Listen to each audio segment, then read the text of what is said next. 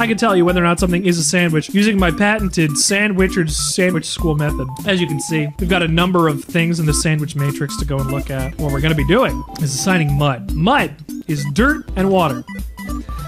Technically, it really exists as a sandwich conceptually. I would not advise eating it. And in fact, I'd hardly say it's a good idea to go and do anything with it at all. Just get rid of the mud. Throw the mud out. Remove the mud from the place it needs to be, or doesn't need to be. Is mud a sandwich? Mud is layered by technicality, so that means it exists automatically in radical sandwich anarchy because its structure and ingredients are undesirable as a sandwich. So it would be radical sandwich anarchy. So that's an easy one. Oh, I don't know what's going on anymore. I'm distracted by sandwiches. Inside out peanut butter and jelly. The ingredients are pure, although the structure is rebellious. So it exists in the same area that a chicken wrap would over on the left. What does that mean? I don't know what anything means. I don't know what anything means ever. You think I'm not just saying stuff sometimes up on this screen? You think? You honestly think sometimes I'm not just proselytizing up here? I'm saying whatever comes to mind? This is basically my religious sermon, and I'm reading for the book of Sandwichard. You don't get to choose what comes out of my mouth. I do, and everything is garbage. You shouldn't listen to me. What are you? Crazy? I hope so. If you're crazy, you can come join the Discord.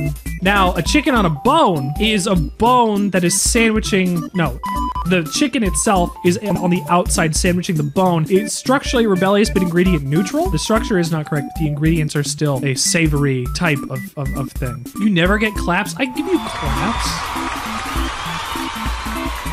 That's what I'm saying. The chicken meat is wrapping the bone. Like, the ingredients are what matters in here.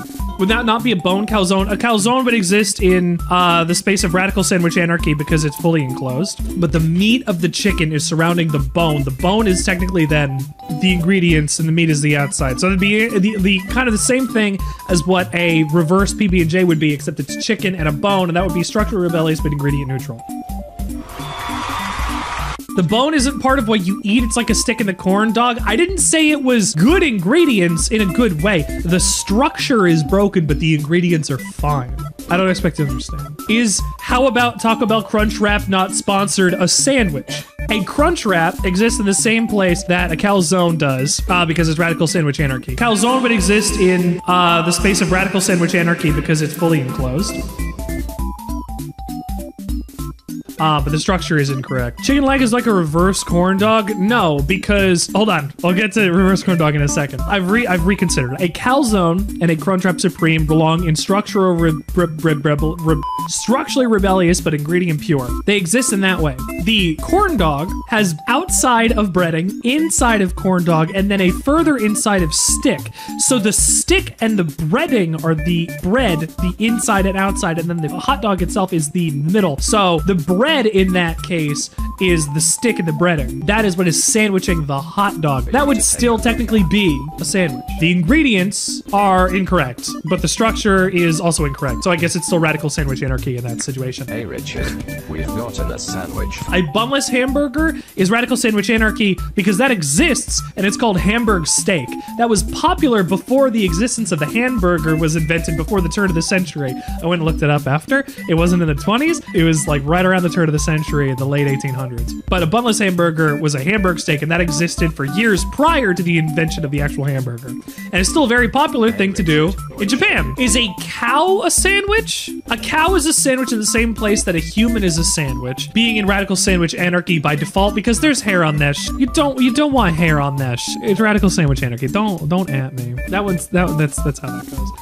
You finish the ice cream sandwich. You finished the ice cream sandwich in the amount of time it would have taken me to finish my diatribe of sandwiches. So I'm gonna give you a clap for that one. I could use an ice cream sandwich right now. Let's play some Final Fantasy 14. No, no, no, no. Is ice cream a sa- Is the ice cream sandwich? Ice cream between waffles is a sandwich. So the ingredients are rebellious, but the structure is still. It says ice cream between waffles is a sandwich. Well, ice cream between any sandwich ingredients would still be. So thank you. But that would be the last one. So yes, it, it is. I want to play some goddamn Final Fantasy 14. Hello, Vivina Del Masca, who has been proposing to me for the last 15 minutes.